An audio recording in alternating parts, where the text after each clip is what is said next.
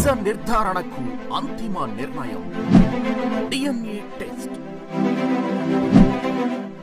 ఉన్నది ఉన్నట్లుగా వాస్తవాలను శోధించి వివరించే మన డిఎన్ఏ టీవీ మన రాష్ట్రం మన ఛానల్. నమస్కారం. డిఎన్ఏ న్యూస్కి స్వాగతం. ముందుగా ముఖ్యాంశాలు. ఏపీ గవర్నర్గా జస్టిస్ అబ్దుల్ నజీర్ ప్రమాణ స్వీకారం. జస్టిస్ నజీర్తో ప్రమాణం చేయించిన ఏపీ చీఫ్ జస్టిస్ పాల్గొన్న సీఎం జగన్ ప్రతిపక్ష నేత చంద్రబాబు నాయుడు. నూతన గవర్నర్కు పుష్పగుచ్చంతో శుభాకాంక్ష తెలిపిన పలువురు ప్రముఖులు. విద్యుత్ శాఖపై ముఖ్యమంత్రి వైఎస్ జగన్మోహన్ రెడ్డి సమీక్ష. వేసవిలో విద్యుత్ కొరత ఉండకూడదని ముఖ్యమంత్రి స్పష్టీకరణ. విద్యుత్ కొరత కారణంగా కరెంటు కోతలని సమస్య ఉత్పన్నం కాకూడదని అధికారులకు సూచన.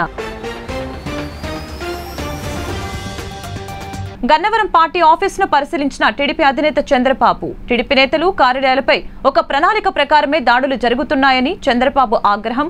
ముఖ్యమంత్రికి వత్తాసు పలుకుతున్న పోలీసు అధికారులు జైళ్ళకు వెళ్ళక తప్పదని హెచ్చరిక. వివేక హత్య కేసులో అవినాష్ రెడ్డికి సంబంధం లేదని ప్రభుత్వ సలహాదారులు సజ్జల రామకృష్ణారెడ్డి వెల్లడి. అవినాష్ రెడ్డికి సంబంధం ఉన్నట్లు ఎలాంటి ఆధారాలు లేవని వ్యాఖ్య. ఏపీ గవర్నర్గా జస్టిస్ అబ్దుల్ నజీర్ ప్రమాణ స్వీకారం చేశారు. జస్టిస్ నజీర్తో ఏపీ చీఫ్ జస్టిస్ ప్రమాణం చేయించారు. ఈ కార్యక్రమంలో సీఎం జగన్ ప్రతిపక్ష నేత చంద్రబాబు నాయుడు పాల్గొన్నారు. ఈ సందర్భంగా నూతన గవర్నర్కు పుష్పగుచ్చంతో శుభాకాంక్షలు తెలిపారు. ఆంధ్రప్రదేశ్ నూతన గవర్నర్గా జస్టిస్ ఎస్ అబ్దుల్ నజీర్ శుక్రవారం ప్రమాణ స్వీకారం చేశారు. విజయవాడ రాజ్భవన్లోని ఈ కార్యక్రమం జరిగింది. High court chief justice Prashant Kumar Mishra justice Abdul నజీర్తో ప్రమాణం చేయించారు. గవర్నర్ ప్రమాణ స్వీకారోత్సవానికి ఏపీ ముఖ్యమంత్రి వైఎస్ జగన్మోహన్ రెడ్డి ప్రతిపక్ష నేత చంద్రబాబు నాయుడు హాజరయ్యారు. ఇతర ప్రజాప్రతినిధులు ప్రభుత్వ ఉన్నతాధికారులు న్యాయమూర్తులు కూడా ఈ కార్యక్రమంలో పాల్గొన్నారు. అనంతరం ముఖ్యమంత్రి Jagan chief justice Mishra governor నజీర్కు పుష్పగుచ్చం ఇచ్చి శుభాకాంక్షలు తెలిపారు. జస్టిస్ అబ్దుల్ నజీర్ స్వస్థలం కర్ణాటకలోని మూడబిదరి తాలూకా బెలువాయి గ్రామం. పంతొమ్మిది వందల యాభై ఎనిమిది జనవరి ఐదున ఆయన జన్మించారు. బాల్యమంతా మూడబిద్దరిలోనే గడిచింది. స్థానిక మహావీర్ కళాశాలలో బీకాం చదివిన ఆయన ఆ తర్వాత Mangaluru Kodialbail SDM law కాలేజీలో న్యాయశాస్త్రంలో డిగ్రీ పూర్తి చేశారు. పంతొమ్మిది వందల ఎనభై మూడులో న్యాయవాద వృత్తిలోకి ప్రవేశించారు. రెండు వేల మూడులో తొలిసారిగా కర్ణాటక హైకోర్టు అదనపు న్యాయమూర్తిగా బాధ్యతలు స్వీకరించారు. ఆ మరుసటి ఏడాది హైకోర్టు శాశ్వత న్యాయమూర్తిగా పదోన్నతి పొందారు. రెండు వేల పదిహేడులో సుప్రీంకోర్టు జడ్జిగా నియమితులైన ఆయన ఈ ఏడాది జనవరి నాలుగు వరకు సుప్రీంకోర్టు న్యాయమూర్తిగా కొనసాగారు.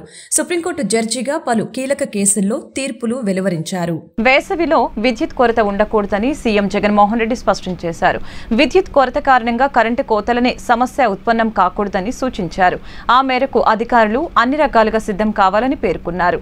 బొగ్గు నిల్వల విషయంలో కూడా అధికారులు తగిన జాగ్రత్తలు తీసుకోవాలని ఆయన ఆదేశించారు. తాడేపల్లిలోని క్యాంపు కార్యాలయంలో విద్యుత్ శాఖపై ముఖ్యమంత్రి వైఎస్ జగన్మోహన్ రెడ్డి సమీక్ష నిర్వహించారు. అధికారులు విద్యుత్ సమస్యల్ని సీఎంకు వివరించారు.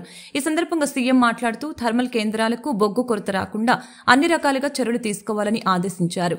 ఫిబ్రవరి రెండవ వారం నుంచే విద్యుత్ డిమాండ్ పెరిగిందని అన్నారు. మార్చి ఏప్రిల్ నెలలో సగటున రోజుకు రెండు వందల నలభై మిలియన్ యూనిట్లు ఏప్రిల్లో రెండు వందల యాభై మిలియన్ యూనిట్లు ఉంటుందని అధికారులు అంచనా వేశారని తెలిపారు.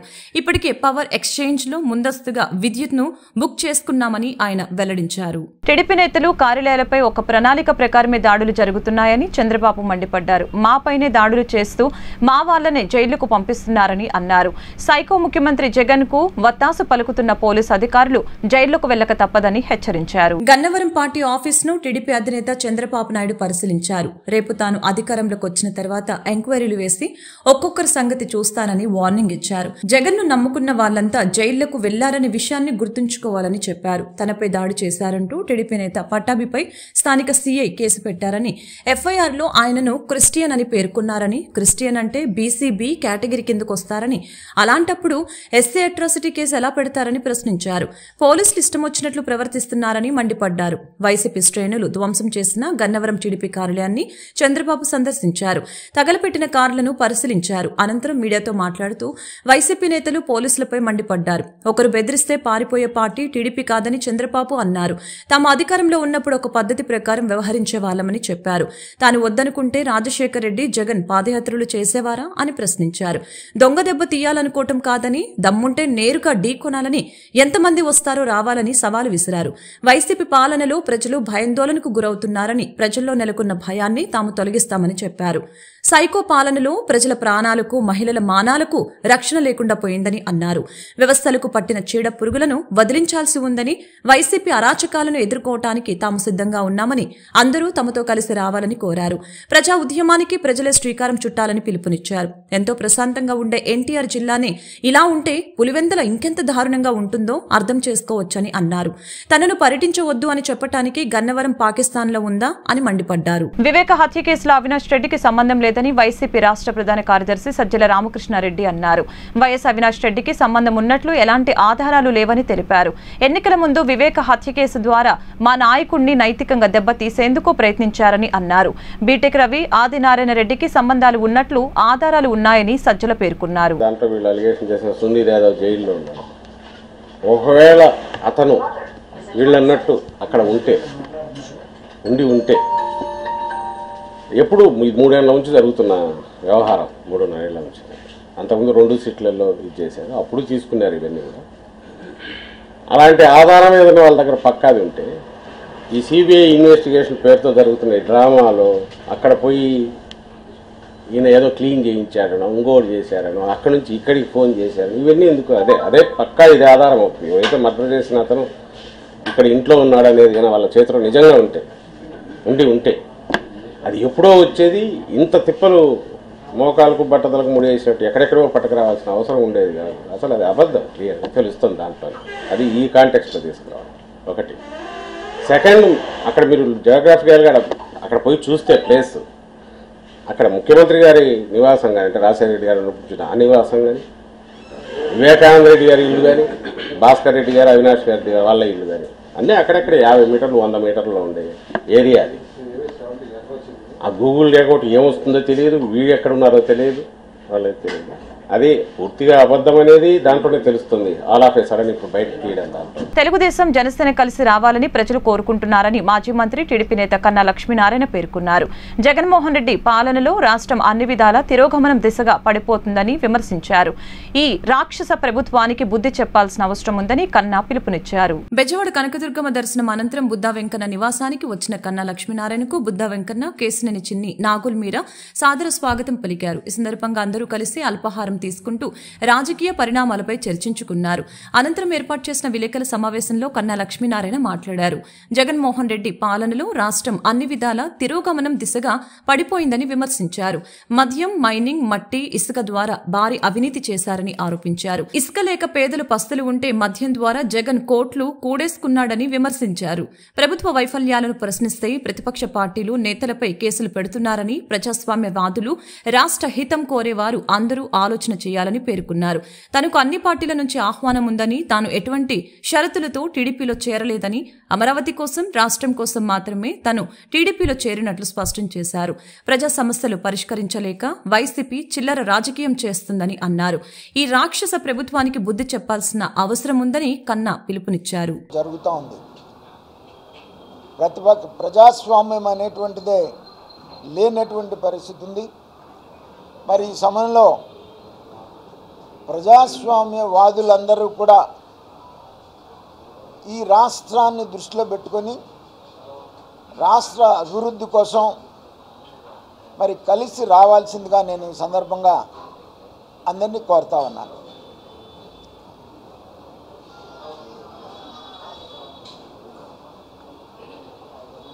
Thank you brother. నేను మాట్లాడతాను నిన్న జాయిన్ అయ్యారు. పార్టీలోకి వచ్చారు. చంద్రబాబు గారు ఎటువంటి హామీలు ఇచ్చారు నేను ఏ హామీని ఆశించి నేను పార్టీలో చేరల. పార్టీ చంద్రబాబు నాయుడు పార్టీ ఏ ఆదేశం ఇస్తే దాని ప్రకారం నేను పనిచేయడానికి సిద్ధపడే చేరాను తప్ప నేనేదో ఒక హామీ కోసమో దేనికోసమో పార్టీలో చేరల. ఈ రాష్ట్రం కోసం నిన్ననే చెప్పాను అమరావతి కోసం నేను పార్టీలో చేర చేరాను అనేటువంటి మాట. లేకపోతే నాకు అన్ని పార్టీల నుంచి ఆహ్వానం ఉంది దాంట్లో నేను కానీ ఈ రెండు ప్రధానమైనటువంటి పరిస్థితి రాష్ట్ర అభివృద్ధిని దృష్టిలో పెట్టుకొని అలాగే అమరావతి రాజధానిని దృష్టిలో పెట్టుకొని తెలుగుదేశం పార్టీలో చేరింది తప్ప ఏ హామీని తీసుకొని నేను చేరినటువంటి పరిస్థితి కాదు. అంటే జాతీయ పార్టీ నుంచి స్థానిక పార్టీకి రావడం వెనుక కారణం చెప్పా కదా నేను. కారణం చెప్పా కదా. అంతే. ముందు మీరు వైసీపీలో జాయిన్ అవ్వబోతూ చివరి నిమిషంలో నిర్ణయాన్ని మార్చుకుని బీజేపీలోకి వచ్చారు. ఇప్పుడు బీజేపీ వెళ్ళాలి టీడీపీలోకి వచ్చారు. అమ్మవారి ఆశస్సులతో దేవాలయ అభివృద్ధికి కృషి చేయాలని దుర్గగుడి పాలక మండలి చైర్మన్ కర్నాటి రాంబాబుకు ఎమ్మెల్యే వెల్లంపల్లి శ్రీనివాసరావు సూచించారు. మహామండపం ఏడవ అంతస్తులో ఏర్పాటు చేసిన చైర్మన్ కార్యాలయాన్ని మేయర్ రాయన భాగ్యలక్ష్మి దుర్గగుడి ఈవో భ్రమరాంబతో కలిసి ఆయన ప్రారంభించారు.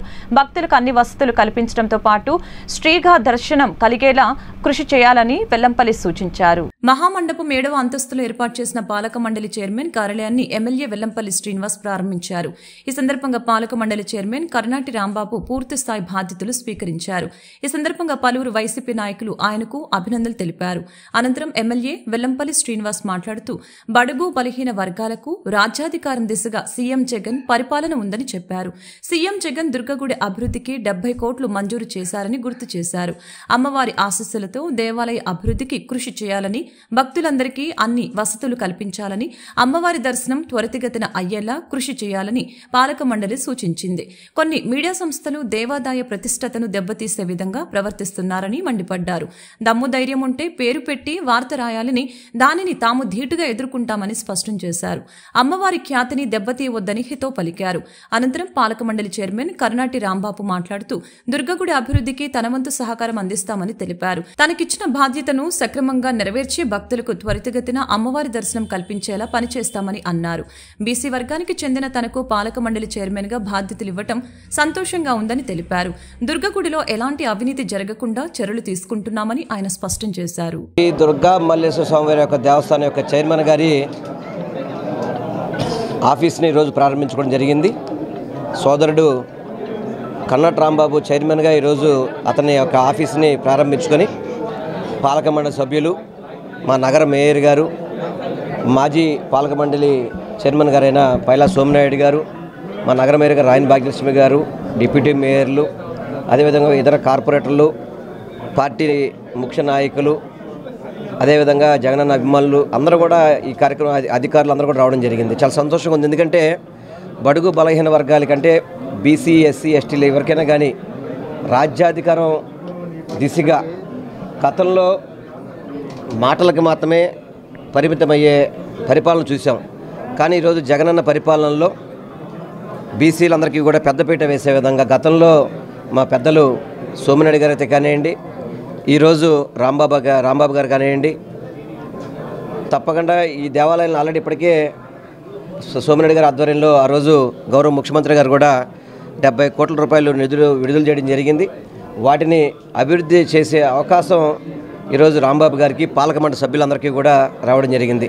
సభ్యులందరూ కలిసి చక్కగా ఈ దేవాలయ అభివృద్ధికి కృషి చేస్తారని చెప్పని జగనన్న మీ మీద ఏ ఏ నమ్మకంతో అయితే ఈ యొక్క పాలక మండలి నియమించారో ఆ నమ్మకాన్ని ఒమ్ము చేయకుండా పరిపాలన చేస్తారని చెప్పని నేను పూర్తిగా ఆశిస్తున్నాను. కార్యాలయం చైర్మన్ కార్యాలయాన్ని ప్రారంభోత్సవానికి ఇచ్చేసినటువంటి మా అన్న పశ్చిమ నియోజకవర్గ శాసనసభ్యులు మాజీ మంత్రివర్యులు వెల్లంపల్లి శ్రీనివాస్ గారు అలాగే విజయవాడ ప్రథమ పౌరురాలైనటువంటి నా సోదరి రాయని భాగ్యలక్ష్మి గారికి అలాగే డిప్యూటీ మేయర్లైనటువంటి నా సోదరులకి అలాగే కార్పొరేటర్లకి అలాగే నా పాలక మండలి సభ్యులకి అలాగే మా వైఎస్ఆర్ కాంగ్రెస్ పార్టీ నాయకులకు మాజీ చైర్మన్ అయినటువంటి మా సోమ సోమనాయుడు అన్నకి ప్రతి ఒక్కరికి కూడా ధన్యవాదాలు తెలియజేస్తున్నాం.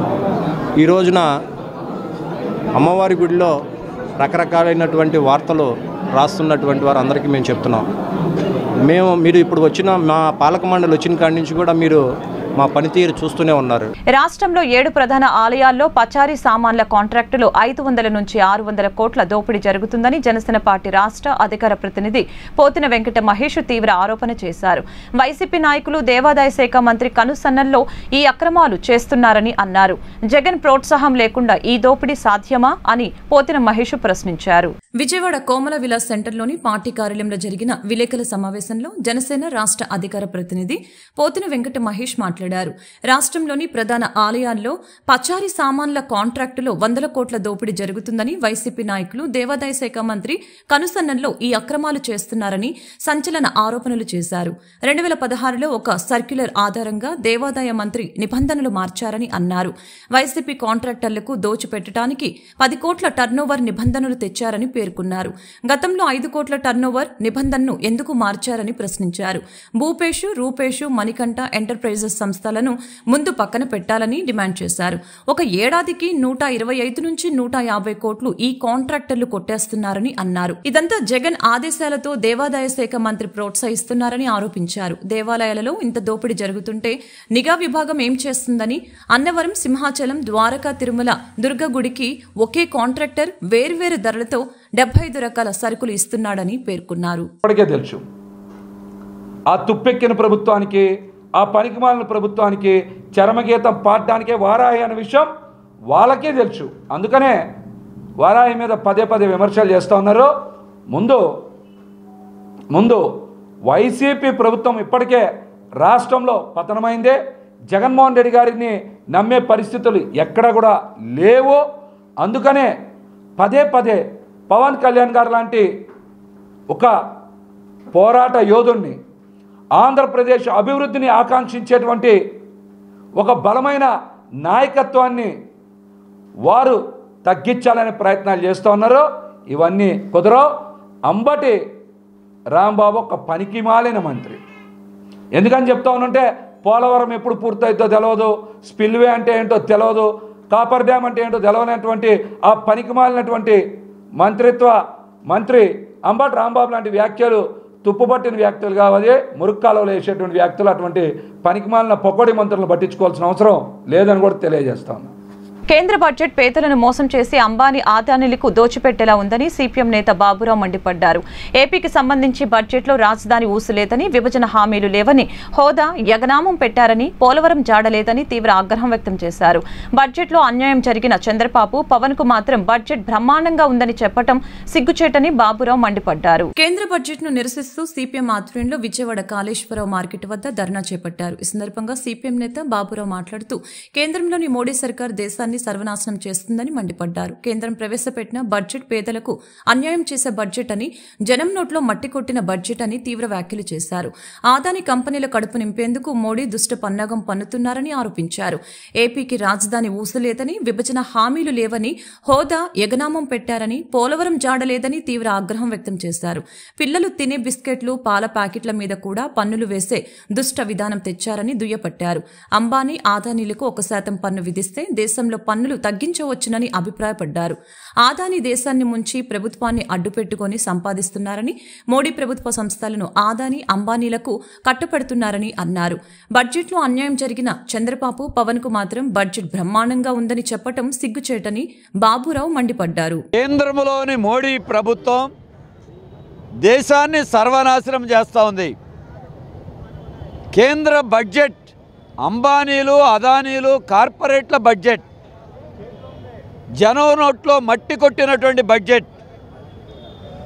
దేశంలో ఉన్న నూట నలభై కోట్ల మంది ప్రజల యొక్క ప్రయోజనాల్ని తాకట్టు పెట్టి అదానీ కంపెనీ యొక్క ఖజానా నింపటానికి మోడీ ప్రభుత్వం దుష్ట పన్నాగాలు పన్నుతోంది. ఆంధ్రప్రదేశ్కి గత ఎనిమిదిన్నరేళ్ళ నుండి తీరని అన్యాయం కేంద్రం చేస్తూ ఉంది రాజధాని ఊసే లేదు. విశాఖ ఉక్కు ఫ్యాక్టరీని ప్రైవేటు పరం చేస్తున్నారు. పోలవరం ప్రాజెక్టుకి నిధులు ఇవ్వరు. ప్రత్యేక హోదా ఎగనామం పెట్టారు. వెనకబడిన ప్రాంతాలకి ప్యాకేజీ లేదు. రాష్ట్రానికి ఏం చేసింది బీజేపీ మోడీ ప్రభుత్వం? అందుకే ఆఖరికి డబ్బు లేదంటారు. పిల్లలు తినే బిస్కెట్ల మీద పాల ప్యాకెట్ల మీద పెరుగు మీద కూడా బియ్యం మీద కూడా పన్నులు వేసినటువంటి దుష్ట విధానాలను మోడీ అవలంబిస్తూ ఉన్నారు. జిఎస్టీ అంటే ఇదేనా? ప్రజల జేబులు కొడతారా? మాజీ పార్లమెంటు సభ్యులు ఎర్రం నాయుడు చేసిన సేవలు నిరుపమానమని ఎర్రం నాయుడు ట్రస్ట్ నిర్వాహకులు మడిచెర్ల వెంకటేశ్వరరావు తెలిపారు. ఆయన చేసిన సేవలు ప్రతిరూపంగా గత పదిహేను సంవత్సరాలుగా ట్రస్ట్ ఆధ్వర్యంలో విద్యార్థులకు ప్రజలకు పలు సేవా కార్యక్రమాలు నిర్వహిస్తున్నామని వెల్లడించారు. చుట్టుగుంట విశాలాంధ్ర రోడ్డులోని మై హోమ్ దగ్గర మాజీ పార్లమెంటు సభ్యులు ఎర్రం నాయుడు జయంతిని పురస్కరించుకొని విద్యార్థులకు పుస్తకాలు పెన్నుల పంపిణీ కార్యక్రమం జరిగింది. ఈ సందర్భంగా ట్రస్ట్ సభ్యులు ఆయన విగ్రహానికి పూలమాలలతో నివాళులర్పించి విద్యార్థులకు పుస్తకాలను పెన్నులను మిఠాయిలను పంచిపెట్టారు. ఈ సందర్భంగా ట్రస్ట్ నిర్వాహకులు మడిచెర్ల వెంకటేశ్వరరావు మాట్లాడుతూ గత పదిహేను సంవత్సరాలుగా ఎర్రం నాయుడు జయంతి వర్ధంతి కార్యక్రమాలను నిర్వహిస్తున్నామని పేర్కొన్నారు. పేద పేదలకు విద్యార్థులకు పలు సేవా కార్యక్రమాలు నిర్వహిస్తున్నామని వెల్లడించారు. ఎర్రం నాయుడు సేవలు అనిర్వచనీయమని ఆయన కొనియాడారు. సీఎం క్యాంపు కార్యాలయంలో ఏర్పాటు చేసిన విలేకరుల సమావేశంలో ప్రభుత్వ సలహాదారు సజ్జల రామకృష్ణారెడ్డి మాట్లాడుతూ వివేకాను కోల్పోవటం వైసీపీకి జగన్కు నష్టమే అని ఆవేదన వ్యక్తం చేశారు. వివేక తిరిగి పార్టీలోకి వస్తానంటే ఆహ్వానించింది జగనే అని గుర్తు చేశారు. వివేక హత్య కేసులో విచారణ నిష్పక్షపాతంగా జరగటం లేదని కొందరిని టార్గెట్ చేస్తూ విచారణ చేస్తున్నారని ఆరోపించారు. వివేక బావమరిది శివప్రకాష్ రెడ్డి ఫోన్ చేస్తేనే అవినాష్ రెడ్డి వెళ్ళారని శివప్రకాష్ రెడ్డి ఫోన్ చేసి వివేక గుండెపోటుతో చనిపోయారని తనకు చెప్పినట్లు ఆది నారాయణ రెడ్డి చెప్పాడని గుర్తు చేశారు. వివేక ఫోన్లోని రికార్డులను ఎందుకు డిలీట్ చేశారని ప్రశ్నించారు. బీటెక్ రవి ఆది నారాయణ రెడ్డి వివేక అల్లుడు రాజశేఖర్ రెడ్డి ఫోన్ రికార్డులు ఎందుకు చూడలేదని ఆయన నిలదీశారు నగరంలో బొబ్బిలి తాండ్రబాబారాయుడు నాయుడు ట్రస్ట్ తరపున పుట్టినరోజు సందర్భంగా ఎర్రవనాయుడిది గత పదిహేను సంవత్సరాలుగా మేము ట్రస్ట్ తరపున కార్యక్రమం చేస్తున్నాం. ఈ స్కూల్ పిల్లలకి బుక్స్ పెన్సిల్ బాక్సు బిస్కెట్ ప్యాకెట్లు ఇవన్నీ మేము సంవత్సరం సంవత్సరం కొంతమంది డోనర్స్తో ఇది చేసి మేమందరం దీన్ని పార్టీ పరంగా కాకుండా కులం పరంగా ఢిల్లీలో ఎర్రకోటలో అలాంటి ఎంపీ ఇదే రకంగా మాట్లాడి మన ఆంధ్రప్రదేశ్ గురించే మాట్లాడే ఎంపీ అనేవారు ఇంతవరకు ఎవరో లేరు ఏ పార్టీలో కూడా. మన ఆ ఆ సందర్భంగా ఏం కావాల్సిన అన్ని కార్యక్రమాలు చేసి చేస్తున్న సందర్భంగా మేము చేస్తున్నాం. ఇప్పుడు అదే బాణీలో మన ఎర్రవనాయుడు కుమారుడు గారు ఆయన కూడా అందరూ ఇచ్చేయాలని బాగా ఇచ్చేసి వార్తను ముగించే ముందు ముఖ్యాంశాలు మరొకసారి. ఏపీ గవర్నర్గా జస్టిస్ అబ్దుల్ నజీర్ ప్రమాణ స్వీకారం. జస్టిస్ నజీర్తో ప్రమాణం చేయించిన ఏపీ చీఫ్ జస్టిస్ పాల్గొన్న సీఎం జగన్ ప్రతిపక్ష నేత చంద్రబాబు నాయుడు. నూతన గవర్నర్కు పుష్పగుచ్చంతో శుభాకాంక్ష తెలిపిన పలువురు ప్రముఖులు. విద్యుత్ శాఖపై ముఖ్యమంత్రి వైఎస్ జగన్మోహన్ రెడ్డి సమీక్ష. వేసవిలో విద్యుత్ కొరత ఉండకూడదని ముఖ్యమంత్రి స్పష్టీకరణ. విద్యుత్ కొరత కారణంగా కరెంటు కోతలనే సమస్య ఉత్పన్నం కాకూడదని అధికారులకు సూచన. గన్నవరం పార్టీ ఆఫీసును పరిశీలించిన టీడీపీ అధినేత చంద్రబాబు. టీడీపీ నేతలు కార్యాలయాలపై ఒక ప్రణాళిక ప్రకారమే దాడులు జరుగుతున్నాయని చంద్రబాబు ఆగ్రహం. ముఖ్యమంత్రికి వత్తాసు పలుకుతున్న పోలీసు అధికారులు జైళ్ళకు వెళ్ళక తప్పదని హెచ్చరిక. వివేక హత్య కేసులో అవినాష్ రెడ్డికి సంబంధం లేదని ప్రభుత్వ సలహాదారులు సజ్జల రామకృష్ణారెడ్డి వెల్లడి. అవినాష్ రెడ్డికి సంబంధం ఉన్నట్లు ఎలాంటి ఆధారాలు లేవని వ్యాఖ్య. ఈ వార్తలు ఇంతటితో సమాప్తం. మరొక బులెటిన్ మళ్ళీ కలుద్దాం. నమస్కారం. నిజ నిర్ధారణకు అంతిమ నిర్ణయం. DNA test. ఉన్నది ఉన్నట్లుగా వాస్తవాలను శోధించి వివరించే మన డిఎన్ఏ టీవీ మన రాష్ట్రం మన ఛానల్.